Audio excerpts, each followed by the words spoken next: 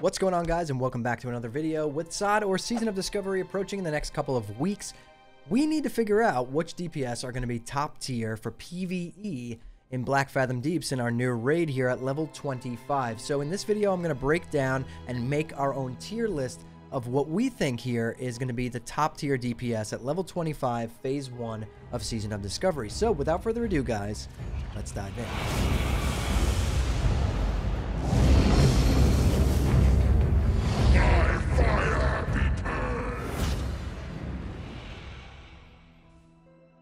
All right, so first up on our list here, we're going to go with Warrior, right? We have our tier list on the right side here. We have our Wowhead talent calculator with our runes over here on the left side. So the way we're going to do this is we are going to put our runes in our chest, hand, and legs first, and then do our talent build based around that, uh, because we're talking BIS level 25, phase 1 DPS, and then we're going to rank them over here. Now, every class seems to have gotten something really good um, that is going to make them feel really strong in pretty much every situation when it comes to PvE um, and PvP. But the thing is here that I want to put the runes in first because some of our runes will actually determine how we build our talents. So let's start with the chest rune for warrior. Um, we have blood frenzy. Each time you deal bleed damage, you gain three rage. Flagellation, gain a 25% bonus to physical damage done for 12 seconds after activating Blood Rage or Berserker Rage. Raging Blow, uh, Ferocious Strike that deals 100% weapon damage but can only be used while in Rage, or Warbringer. Um, so for me, uh, what I think we're talking level 25, right? We're talking phase one. Um, really, how many rage spenders do you have at, at, at, level 25? You don't, you know, you don't have Mortal Strike yet, or Whirlwind, or Bloodthirst, or anything like that. So I think Blood Frenzy, not very worth it, uh, simply because I don't think we're going to be really that rage starved. Um, I think that maybe Flagellation or Raging Blow is going to be wh what we take for just pure DPS. Um, so this can go kind of one or one of two ways. Uh, but I would I would maybe argue that Flagellation is probably the better the better the better rune here. We're gonna go with Flagellation, right? Just 25% bonus to dam physical damage. I mean that's huge. So hands next. Uh, we have Endless Rage. You generate 25% more rage from all damage you deal. We have Quick Strike, um, a reckless instant melee attack with your two-handed weapon, dealing 50 to 83 damage. This benefits from anything that, that affects a heroic strike. Single-minded fury, while dual wielding, your physical damage and movement speed are increased by 10%.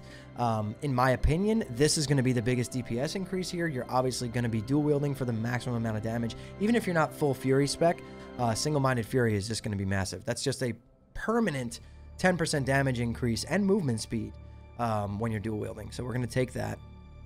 And then for our legs here, we have consumed by hate by rage. Uh, enrages you and grants you a 25% melee damage bonus for 12 seconds or up to a maximum of 12 swings after you exceed 80 rage. Um, so we can most likely go with that. This is, you know, Furious Thunder. Thunderclap is mainly used for tanking. Um, Frenzied Assault would be good if we're going with two-hander. Uh, so if we were to go with single-minded fury, we're going to take consumed by rage, obviously. Um, so that's 25% damage bonus, and then if you pop blood rage, you're getting another. So you basically have 50% damage bonus, 10% attack speed, uh, 10%. So 60% physical damage bonus between all these runes right here if you pop blood rage. Um, but if we wanted to go a two-hander build, we would go Frenzied Assault, which increases our attack speed by 20% with two-handers. And then we would not take Single-Minded Fury and maybe take Endless Rage, um, since we're going to be building Rage a little slower with a two-hander. Uh, or you could take Quick Strike for an extra strike. But for the purposes of this video, we're going to go with this build. Um, we're going to pretend we're dual wielding.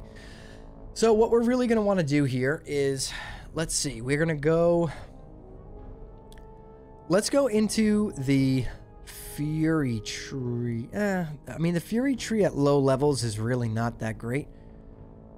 So I actually think our best bet is to go dual wield arms, um, which I actually did in hardcore and it worked out really well. We're going to go with improved rend and we're going to go with two points into heroic strike um, to reduce our heroic strike abilities rage cost. And then we're going to go with two points into improved charge, tactical mastery, three points, deep wounds, three points to give us some more bleed damage. Um, we want to get our overpower. Uh, so we have one point left to spend, but this is a big one that we want to make sure we get because when you're dual wield arms leveling, or at this stage of the game, you're going to be raiding. Um, having improved overpower is just absolutely massive. And when you really think about it, between all these runes down here, 60% physical damage increase, and basically critting half of the time with overpower, you're a low level, so you're going to be missing a lot. Um, and you're going to be overpowering a lot. Uh, they're, they're, they're going to be dodging you quite a bit. So overpower comes up a lot. That's why I actually, it was probably the best way to level my warrior from, from like 20 to 32 uh, in hardcore. Uh, so I would take improved overpower. And then here we have one point left to spend. And obviously we're going to take impale, which increases our critical strike damage bonus of all of our abilities pretty much. Uh, so that is pretty huge, 10% on that. So this would be my BIS build for, for, what I think would give warriors the maximum amount of damage at level 25. I could be wrong. Uh, the Fury Tree might be better if you get improved Cleave and maybe improved Battle Shout um, and like a point or two in Enrage. But the thing is with this is that, I don't know, I've tested both. I've played a lot of Warrior and dual wield arms from 20 to 30. Um, you know, some of my buddies told me about it and I tried it on my last hardcore Warrior and uh, it was it was really really strong. So I would say that this is going to give you the most damage output, the most sustained, um, you know, damage output from warrior. You're going to go arms, maybe dual wield. You can swap out, go two hander. Maybe that 20% attack speed's even bigger than single minded fury, so that could be huge too. But either way, this build will work for dual wielding or two handers. You would just have to swap out single minded fury for uh, endless rage or quick strike, and then you would take frenzied assault. Um, but the way I would play it would be like this. So that would be my build. And I think warriors are going to do incredible damage at this level. Um, so I'm going to put them up in A tier. Uh, the only reason they're not S tier is I think because some other classes uh, have a lot more AoE than warriors. I mean, at this level, you have cleave, uh, and that's about it. You don't have, uh, you know, whirlwind yet. So warriors for me, A tier. Next up on our list here, we have warlock. Okay, so for Warlock, let's go over our runes here. We have Demonic Tactics, increase the melee and spell critical strike chance of you and your pet by 10%. That's a pretty big one. Just 10% crit is huge. Um, Rain of Fire also leaves a lake of fire on the ground that increases all fire damage you deal and your demon, demon pet deals to affected enemies by 40% for 15 seconds. So we're going to go with one of these two here. Let's go with Lake of Fire uh, just because 40% extra damage is pretty insane. And if you have your imp out, uh, you know, casting fire bolts, that's going to do a lot of damage. We're going to go to hands next. Um, and obviously here, our choice is Chaos Bolt, sends a bolt of chaotic fire at the enemy, dealing 225 to 286 fire damage. Chaos Bolt always hits, cannot be resisted, and its knowledge causes all your fire spells to pierce through absorption effects. So that's fire damage. It'll coincide with Lake of Fire, which, uh, so Chaos Bolt will do 40% more damage while you're Imp is blasting for 40% more damage. That's a lot of damage. Uh, legs. So what we're going to want to do here is probably pick up Incinerate. Um, you could argue that you would take Demonic Pact, uh, but the thing is that Incinerate is going to be stronger because obviously with our we're going to kind of chain all of these together, right? We're going to be using Lake of Rain of Fire to get our Lake of Fire going. We're going to use Chaos Bolt on cooldown, and then we're going to be spamming Incinerate. Um, and this increases all fire damage you deal by 25% for the next 15 seconds. So you cast Rain of Fire on the opener on a pack of mobs in BFD. You know, you're going to maybe hit one Incinerate, and then that will buff your Chaos Bolt by 25%, and then Chaos Bolt gets buffed another 40% because of Lake of Fire. So 65% stronger Chaos Bolt is pretty massive. And then clearly here the choice is to go down into the Destruction Tree. Um, I think what we're going to be doing here is we're not taking Improved Shadow Bolt because it looks like we're kind of going a Fire Destruction build. Uh, we're going to do 5 points into Cataclysm to reduce our mana cost by 5%. Um, we're going to take Bane to reduce our... Wait a minute. Hmm. Well, it, it decreases... I was going to say, I'm not sure if Bane affects Incinerate. I'm sure it does. But even if it doesn't... Uh, it's still the best choice here because we are going to be putting Immolate up on the target as well. Um, so Bane is is hands down the best choice there. We don't need a, a, a Daze or Improved Shadow Bolt. Um, and then down here, we're going to take Devastation for the 5% chance to crit. And we have one more talent point to spend here. So I would argue that we can either go... I honestly think the best choice here would be to go with Improved Firebolt for your Imp. Uh, because that is, with this build, that's clearly going to be uh, the, the pet that you're using. Um, and I think this would be... Uh, at level 25, this is going to do the most damage, right? These mobs die fairly quickly, so you want upfront damage. There are some really good runes that we can use for like a nice affliction spec, but I don't think that's going to do more damage than destruction early on, especially with this fire destruction build. Um, so we're gonna go. We're gonna go with this for Warlocks. Uh, we're going to go with a Fire Destruction build, and I think this is going to actually be S tier. This is going to be a lot of damage. You have Cleave and AoE with Lake of Fire. You have Chaos Bolt and Incinerate for just insane amounts of single target damage, and Improve Firebolt for your Imp to just sit there and, and you know, just blast. So Warlocks, S tier in my opinion. Let me know what you guys think down in the comments below, but let's move on to Hunter. Okay, so for Hunter, we're going to go with Chest Runes, right? We have Cobra Strikes. Your critical uh, critical hits with shot abilities cause your pet's next two special attacks to critical hit. Not a bad one. Expose Weakness. Your range criticals increase your attack power by 40% of your current agility for 7 seconds. Lone Wolf, you deal 25% increased damage with all attacks while you do not have a pet. Master Marksman, increase your crit chance by 5% and reduce mana, mana cost of all your shots by 25%. Um, I think the clear winner here is going to be expose weakness um, for level 25 rating. Uh, this is going to be pretty big. When you crit, you're gaining 40% of your current agility as attack power. Uh, you could argue that maybe Lone Wolf would be better, but we'd have to kind of do some testing because your pet does quite a bit of damage in vanilla. Um, so I would I would take expose weakness, right? And then for hands, we have Beast Mastery, we have Carve, we have Chimera Shot, um, we have Explosive Shot. Obviously, I think the clear winner here for PvE DPS is going to be Explosive Shot. And then for legs, we have Kill Command, Serpent Spread, Sniper Training. Um, so depending how the raid goes, if you can stand still for six seconds, I think Sniper Training might be very useful, but I really do think that Serpent Spread is going to be the way to go. Targets hit by your multi-shot are also affected by your Serpent Sting, so when you're clearing trash in a raid, just being able to multi-shot and just instantly have, you know, three or four serpent stings up is pretty huge. And then obviously for this build, we're going to be going into the marksman tree. We're going to take efficiency to reduce the mana cost of all of our shots and stings by 10%. We're going to take lethal shots for another 5% chance to crit. Um, and then obviously here we are going to take aimed shot and probably let's try and think about our rotation here. Like, I mean, we I'm not sure if we'll be using Arcane Shot, but if we are using Arcane Shot, we would want to throw four points into that and then take one point into Mortal Shots.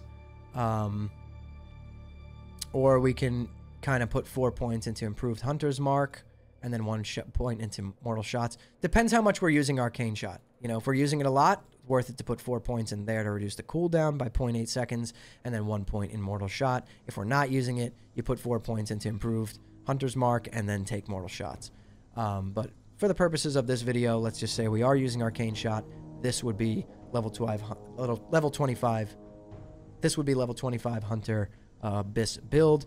And I think this is going to do ridiculous amounts of damage. So I'm going to put Hunters in S tier.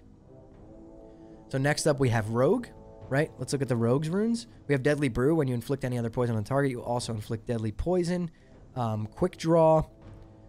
Draw your ranged weapon and fire a quick shot at the enemy. Uh, this is more of like a PvP type ability, like a hamstring.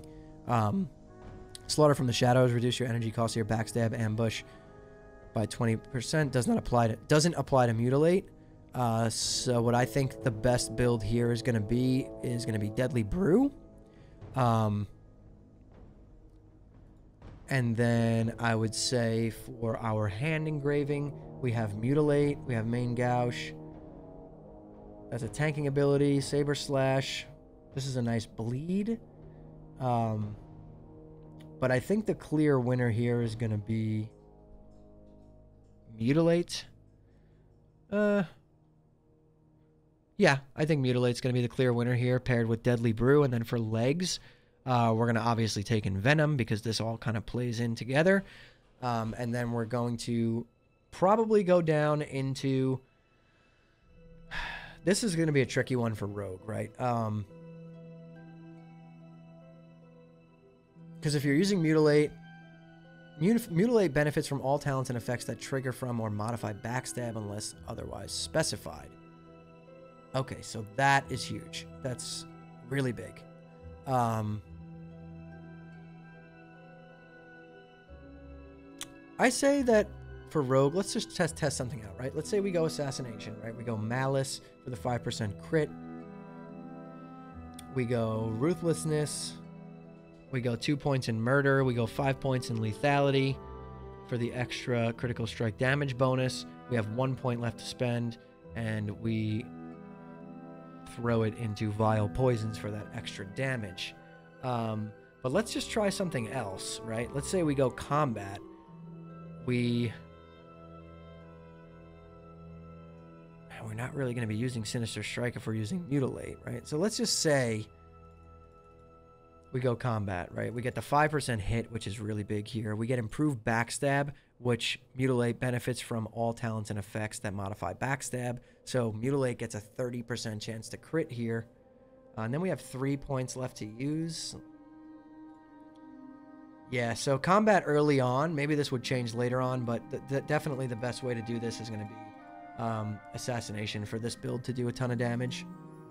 And remember, these builds are just speculation from me, um, based on like all the runes that are available at level 25.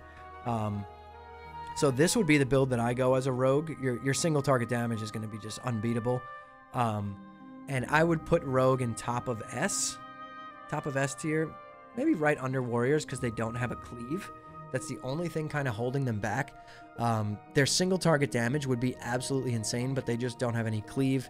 And um, from watching the playtest at BlizzCon, it does look like there is a lot of trash in B- the BFD raid. Um, so I would keep rogues in a solid A tier. And so let's move on to mage. Okay, for chest, we have Burnout. Increases your spell critical strike chance with all spells by 15%, but your non-periodic spell critical strikes now have an additional mana cost of 1% of your base mana. Um, I think the main thing here is going to be... Uh, probably probably Fingers of Frost, to be honest. Just the damage increase from that is just too insane. Um, and hands, like I mean, th- th- you could probably play this two ways. You could probably play Frost and do a ton of damage with Ice Lance, Fingers of Frost, and Icy Veins, right? And then we can go down this, the tree like this. Um, we could take Cold Snap for Icy Veins. Um, like this would be like a good Frost DPS build for Fingers of Frost, which is just a ton of extra damage. Ice Lance, ridiculous damage. Icy Veins, and then we have Cold Snap um, like this would be just crazy amounts of damage. Or we could play it like this, and we can take Burnout, we can take Living Bomb, and we can take. Um, for, see, for here, we would still take Icy Veins, um, and we can do like a fire build, right? Uh, let's see. We obviously would take Ignite. Uh, we would definitely. We probably wouldn't really cast Pyroblast much outside of the opener. So we would probably take Incinerate for that extra crit chance. Um, improved Flame Strike for more AoE. And then we would probably put one point in Master of Elements to kind of give us a little bit mana back because Burnout's going to be killing our mana. But you'd have, I mean, you'd have a ton of damage in either one of these specs. You can kind of play it however you want. Uh, I think Mage is going to be absolutely S tier. There's just they just have too much damage. And having Living Bomb at level 25 and Icy Veins, and if you're Frost, you can Cold Snap Icy Veins twice, Burnout. Like, mages are going to just be doing insane amounts of damage. Uh, so up next, we have Shaman. So again, you could play Elemental, you could play Enhancement here, right? Let's go over the chest runes. Let's say we're going Enhancement. We obviously take Dual Wielding, um, which is also giving us an, a 5% hit chance uh, right off the bat, which is huge, and Storm Strike will hit with both weapons. However, we do not have Storm Strike until level 50, so that is that is pretty crazy. Or level 40, sorry. Um, and then we go for hands. We We would obviously take Lava Lash. You charge your offhand weapon with lava, instantly dealing 100% offhand weapon damage. Damage is increased by 20% if your offhand is enchanted with Flame Tongue. So this would be like our enhancement build. And then we take Shamanistic Rage. Um, reduces all damage you take by 20%. You regenerate mana every second for 15 seconds.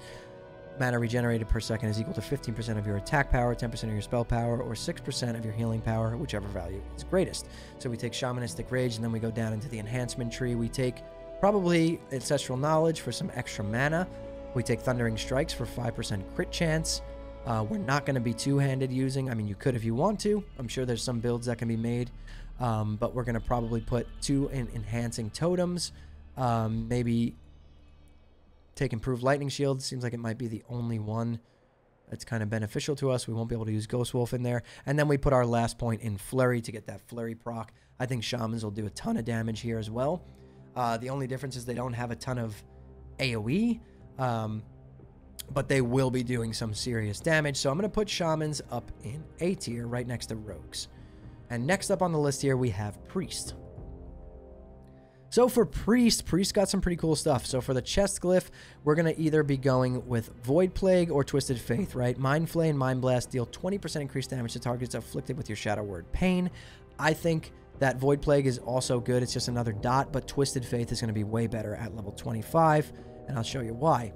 So hands, uh, the next thing we want here, obviously, is Mind Sear, cause an explosion of shadow magic around the target enemy, causing 35 to 39 shadow damage every one second for 5 seconds to all enemies within 10 yards around the target. So we take Mind Sear there for our nice AoE.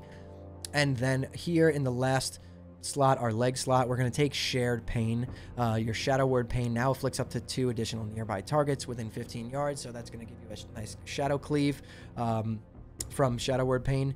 Um, and that's going to kind of play off a Twisted Faith. So you're going to, you know, put Shadow Word Pain up. It's going to hit three targets.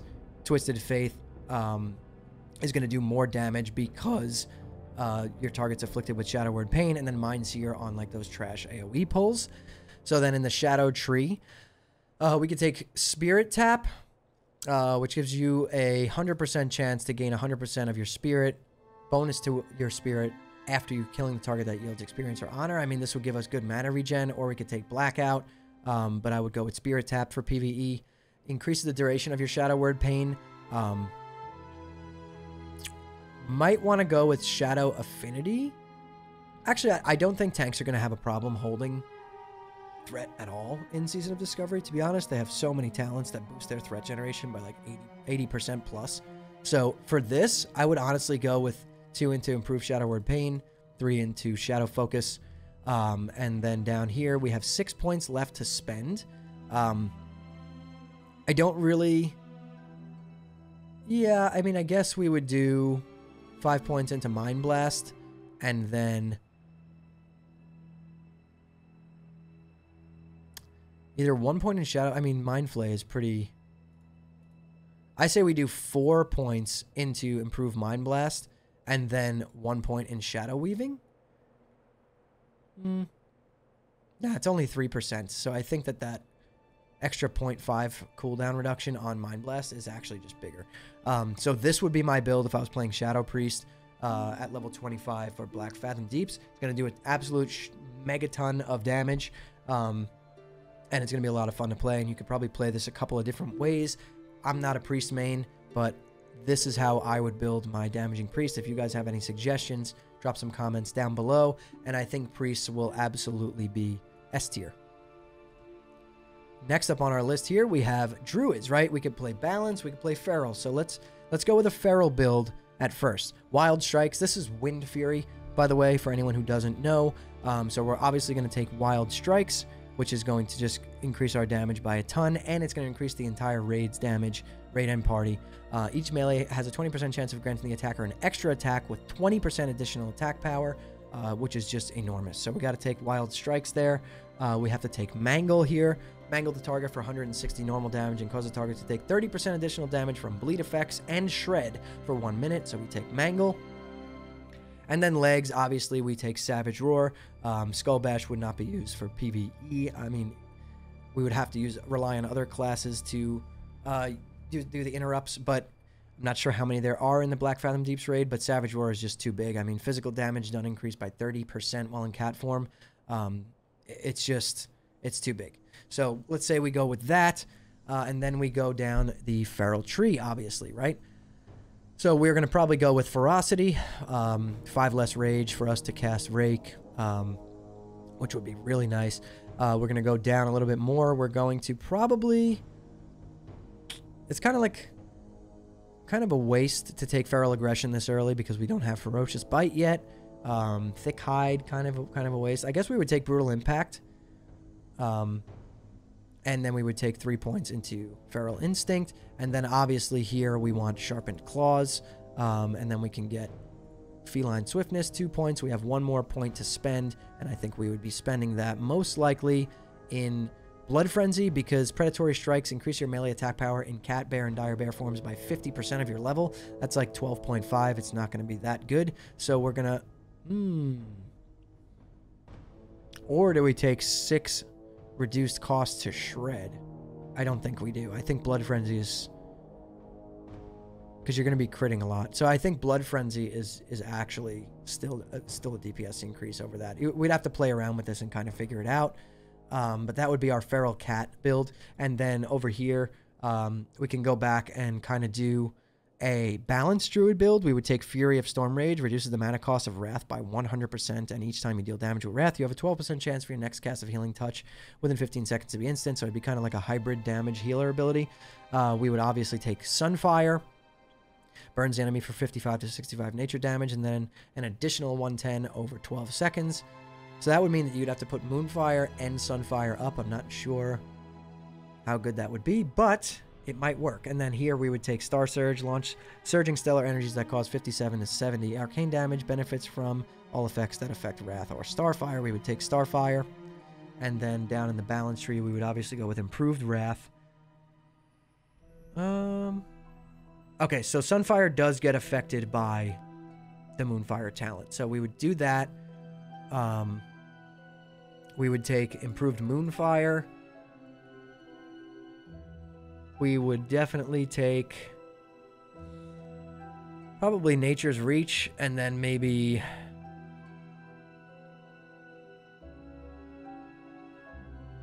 We're not going to be shifting much. We're not doing physical damage. We, I guess we would just take uh, improved thorns to help our tanks hold threat. Um,